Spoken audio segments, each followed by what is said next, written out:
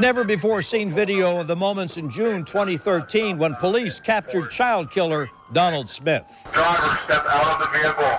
Face away from us. Keep your hands in the air. Stop. All new, the News 4 Jax I team has obtained an extraordinary recording of Smith admitting in detail to the kidnapping, rape, and murder of eight-year-old Cherish Perrywinkle. Smith now sits on death row in Raiford awaiting execution. I-Team investigator Lindsay Gardner has been painstakingly going through this chilling recording of Smith. We want to warn you what you're about to hear is disturbing. Lindsay. Tom, we also obtained this a letter from Smith's former psychologist to the state attorney's office dated all the way back in 2002. That doctor calls Smith a clear and present danger to children and the community. Words written before Cherish was ever born, and a life later lost that could have been saved if warnings had been acted upon. Children sexual objects.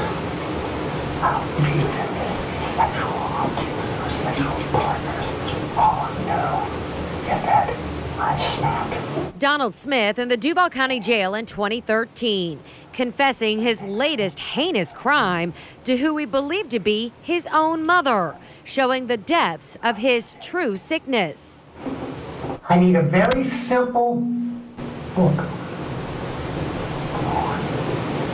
Cherish, a child who wanted a cheeseburger, last seen on Walmart security footage, skipping out of the store with Smith, who later sexually and physically assaulted and tortured her before choking the life out of her. Could it have happened the way they said? Yes, it could have. It could have. I was so psychotic. I was extremely violent. She had to go. I care she had to go. That's my life. Stay right here. You're gonna kill me. It's your fault. I'm gonna die. I was raging. But in the same breath, Smith delivers a truly unbelievable statement. Never be able to work through all this. Never. I'll never be okay. So rather than spend the rest of my life being humiliated by myself, telling all this crap in my head, I might as well just die with it.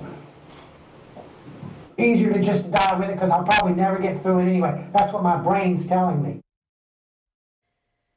Coming up all new at 6, what Donald Smith admits to being truly afraid of, and if death row was the right punishment based on his fears.